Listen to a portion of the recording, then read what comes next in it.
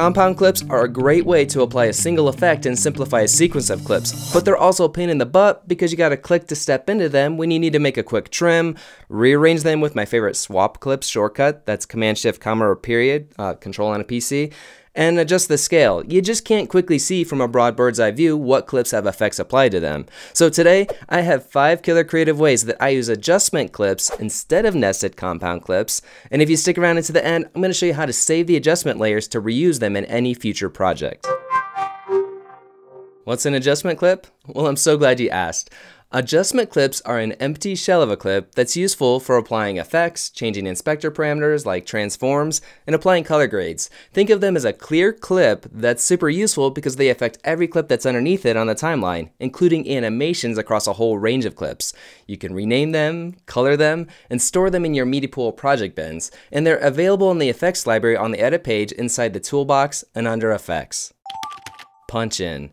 Have you ever shot a talking head interview looking directly into the camera in 4K? You can use an adjustment clip to quickly punch in and give the appearance that you've changed to a tighter lens. Often, this is better than using a second camera angle because your eyes can stay locked into the lens to connect to your audience. Just grab a fresh adjustment clip from the effects library, toolbox, effects, and drag it to a layer above your talking head. Now select it and open the inspector in the upper right so you can drag to increase the zoom value higher than 1. Play before the adjustment clip, and you'll see the punch-in effect just like you've cut to a tighter lens. This is perfect for grabbing someone's attention really quickly. Now let's take this tip to the next level by adding the grid effect to another adjustment clip to keep our eye line at the same vertical position. Click on your open effects and search the word grid. The grid effect is a resolve effects that will help us keep those eyes in the same position after punching into the shot. It's DaVinci Resolve's version of having alignment guides, and it's also an excellent tool that you can use to rotate and level out your horizon line of your shots. Drag your row cells count down to 2 and column cells down to 1. And finally, move the tilt parameter to the location where I want the eyes to be positioned and set my guide across both clips to match them up. Tweak the shots until they're perfect, and of course, turn this switch off once you're all done so the guide won't render in your final export. Continuous push. I do a lot of interview style videos that get visual support with photos as b-roll, and a cool way to build some energy or suspense is to push in slowly across multiple photographs in a sequence. Think of this as a Ken Burns push, but moving continuously across your cuts. It's like Ken Burns 2.0. Now, step one is to mat the photos to the same size, and I use the transform effect for that. Then drag a new adjustment clip on a track above to cover the length of the whole segment of photos, and use the inspector's video transform to set a start keyframe at the first frame. And then move the playhead to the end of the adjustment layer and set a new keyframe just by increasing the zoom parameter. Since you already placed an initial keyframe, DaVinci Resolve is smart enough to create a second keyframe automatically. It's doing the math for us to get from keyframe A to B. Play the timeline down, and you'll have a nice subtle push that continues to carry the position and size from the clip across cuts, which is my favorite type of transition. But I know everyone loves a good whip pan transition, so that's what's up next.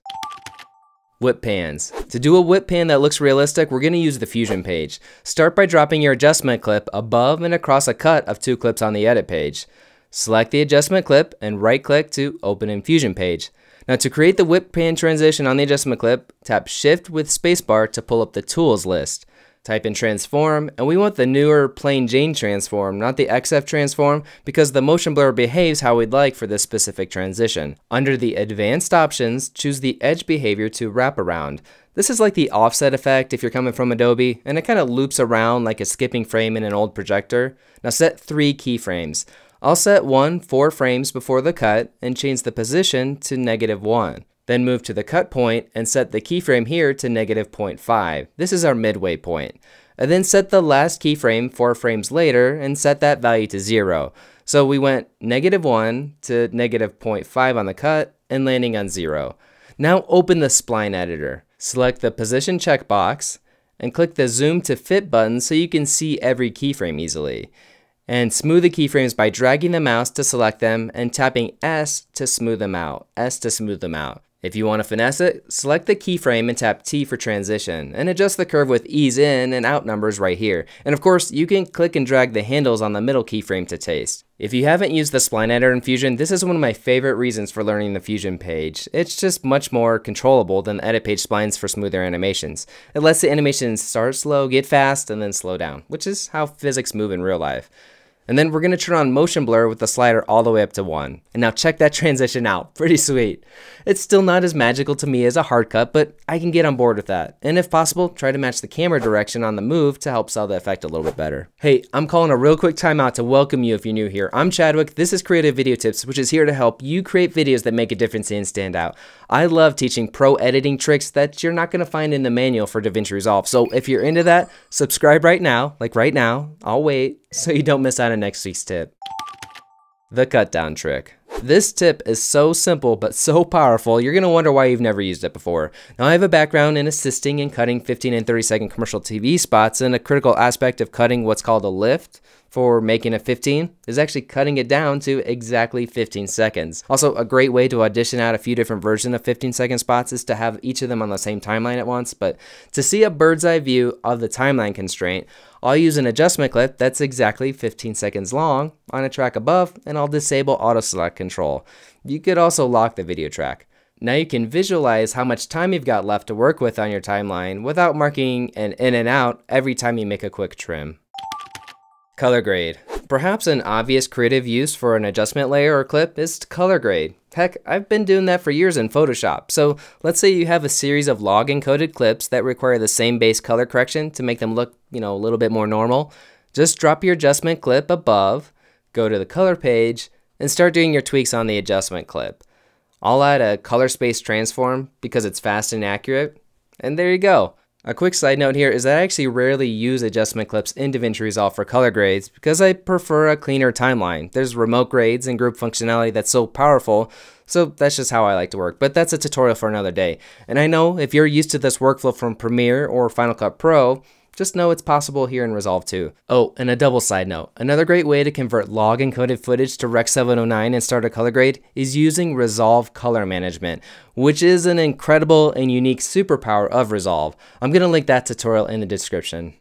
Power bin adjustment clips. So now that you've learned five unique ways to use adjustment clips, I bet you'd love to save them, right? Maybe use them in your next project. I do that by simply dragging the adjustment clip from the timeline up to a power bin.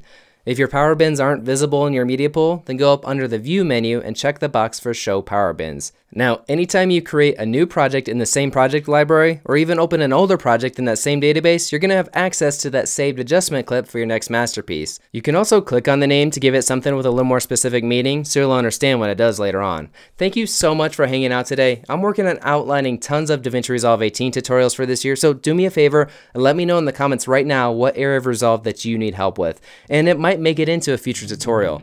I appreciate you more than you know, and there should be something on screen right now that YouTube thinks you're to like. So check that out. And because there's so much more to learn, I'll see you in that next video.